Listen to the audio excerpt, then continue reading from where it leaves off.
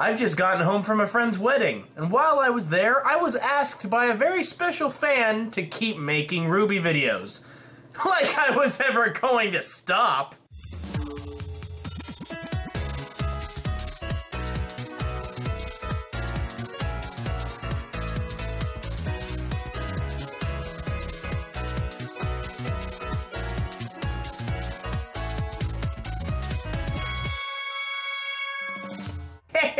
Everybody out there in YouTube land, Jake of the One Man Band is back again, and welcome to another RWBY Theory video. So let's talk about something. Something that's been on my mind for a while.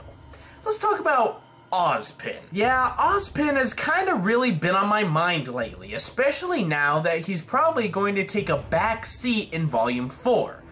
Now, I don't believe that he's dead. A lot of people think that he was killed by Cinder, but I'm one of the people that think that's not really the case. He's still gonna play a part in the story somehow. And you see, recently, I just gotten back from a trip when I was visiting my girlfriend over in Las Vegas.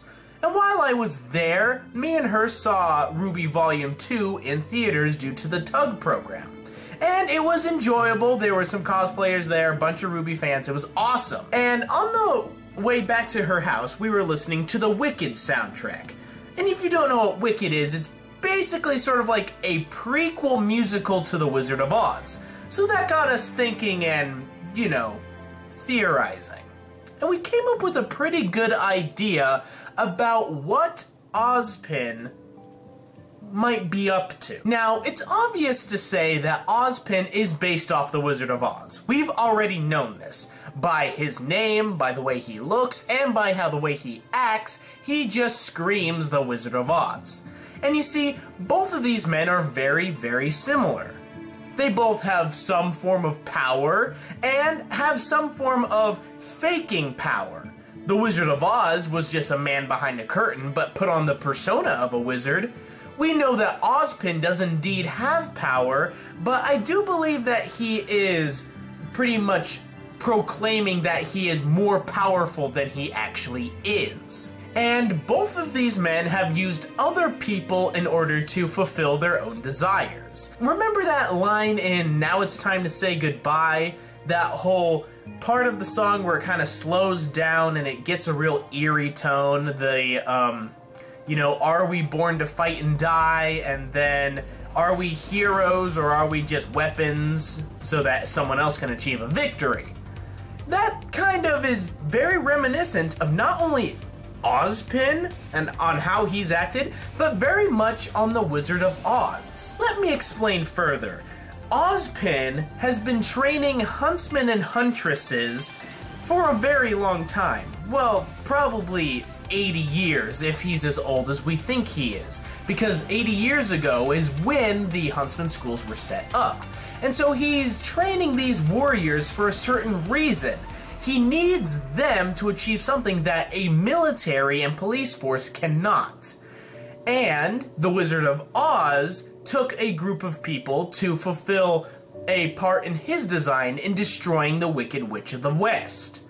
So both of them are very, very similar, which makes you think there must be some sort of grand, strange thing that Ozpin is trying to do that he's trying to keep behind his curtain. And this is where the idea of Ozpin's grand experiment comes from. We know that the Wizard of Oz found this group of four misfits and sent them off to destroy the Wicked Witch of the West. I believe that Ozpin is trying to do something along the same line. He is using the Huntsman Academies to find the perfect warriors to send out and destroy his version of the Wicked Witch of the West, that being Salem, or whoever Salem is dealing with. Pretty much, they're both sending out groups of people to defeat evil. Now, in The Wizard of Oz, the wizard sends out our four heroes that have journeyed down the yellow brick road to the Emerald City to ask the wizard for to help them with a problem. And in order for him to help them with the problem, he asked them to first defeat the witch. And these four people are, of course, Dorothy from Kansas, the Scarecrow, the Tin Man, and the Cowardly Lion. Now, we've already gone into much great detail that there are characters already in RWBY that demonstrates that they are pretty much personifications of these characters in RWBY. Ironwood is obviously the Tin Man. Crow is obviously the Scarecrow. A lot of people believe that Taiyang is the Cowardly Lion, but that hasn't been confirmed yet. But I think that he does fit the Cowardly Lion uh, criteria. And then, of course, Dorothy, some others believe that Summer Rose may have been based off of Dorothy. But what if I were to tell you that there are other characters in RWBY that, while they are based off of other characters from books and mythology, that they also have a little bit of these characters from The Wizard of Oz in them as well. And they indeed form a witch hunting team for the RWBY universe. I'm of course talking about Team RWBY itself. Hear me out on this, guys. Team RWBY is a group of four people that Ozpin has put lots and lots of love and care into. He's even bended the rules in order for them to go out and do their thing. Much like how the Wizard of Oz took interest in these four travelers and thought that they were the best thing to send out to kill the witch the wicked witch of the west instead of sending like you know an army instead he sends these four people that's like why the wizard of oz had his reasons and i think ozpin has his reasons too but I'm getting off track. Let's talk about how Team RWBY itself has similarities to the witch hunting team of the Wizard of Oz. Let's first talk about Yang. Yang is very similar in ways to the Scarecrow of the story. Let's remember, the Scarecrow's desire from the wizard was to have a brain. No, I'm not saying that Yang is dumb or anything, but she leads with her heart she always puts her heart into battle.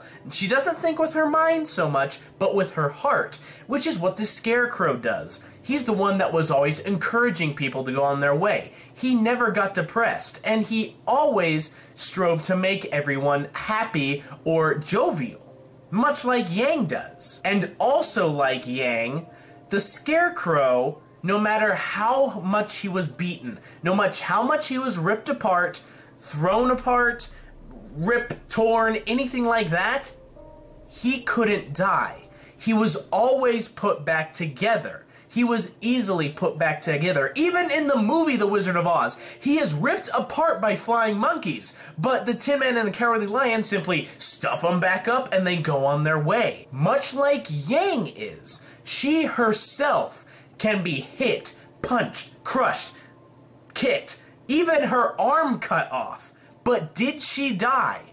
No. And in most cases, her getting hit just makes her stronger. Now, of course, the Scarecrow does have a weakness to fire, but Yang is powered by fire. And, you know, back when I was saying how the Scarecrow led with his heart, look at Yang's symbol. It is a burning heart. Coincidence? I don't think so. But let's talk about Weiss now. Weiss is very much like the Tin Man. The Tin Man asked the wizard for a heart. And I'm not saying that Weiss is heartless or anything like that. Not at all. It's just that in the grand scheme of things, she has a hard time conveying her emotions to people. She isn't the best at emoting emotions, and when it comes to like cracking jokes or anything like that, she's a little bit behind.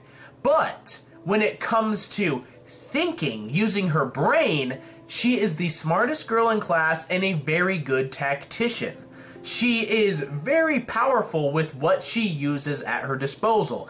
And the Tin Man was a woodcutter so he would obviously be one of the most powerful people to go after the witch due to his, you know, having an axe all the time. And even though the Tin Man himself states that he doesn't have a heart, he does care for things, much like Weiss does. Now let's talk about Blake. Now I know what you're thinking. Blake? Who could she possibly be? Well, the Cowardly Lion.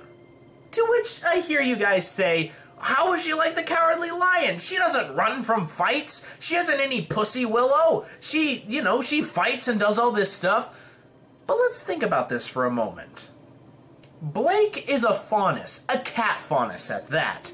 And, you know, it's good that Team RWBY has a faunus on their team to represent that, um, that part of humanity that isn't represented by the rest of the team. So, you know, I think that's cool. But why specifically a cat faunus? Was it just to fill some anime criteria that there has to be a cat girl? I don't think so. I mean, we already have a bunny girl. Why did we need a cat girl? And for a cat girl to be a main character, it's really overdone. That's why I think there was more to her just being a cat girl. Her being a cat is a symbol of her being close to the cowardly lion. And not only is her faunus nature close to being uh, associated with the cowardly lion, but also how she fights and the way she uses her semblance. She has said herself that whenever she's come across a problem, she has ran from it. And her semblance allows her to leave behind an empty copy to take the hit for her. What does the cowardly lion do when faced with adversity? He either shudders or he runs away, much like Blake does when faced with adversity.